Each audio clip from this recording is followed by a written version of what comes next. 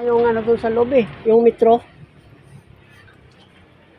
Yung metro sana maplastar doon sa loob para may energize na yung ito, yung galing dito. Ito yung hatakin pabalik. Hatakin ta na lang to pabalik. Malaki ba ang kulang doon sa loob?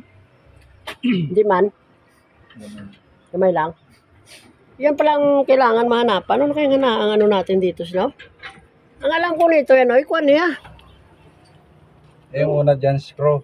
Screw lang nakalagay siguro yan dyan sa ano na yan, o, butas na yan. O. Yan yung hanapan. Terminal sana eh. Yung screw na may ano sa likod, may may ano, may Ba't kasi natanggal yan? Ba't sino kaya nagtanggal yan? Ah, di ba? Si, baka dati talaga, no, screw talaga nakalagay dyan. Yan. Tapos tinanggal lang, di na naibalik. May screw na yun. Nilagyan kasi siya. Kaya nga, yung screw na may kuha sa likod, dito, problema doon, pag sumapag umano yun, nag-short.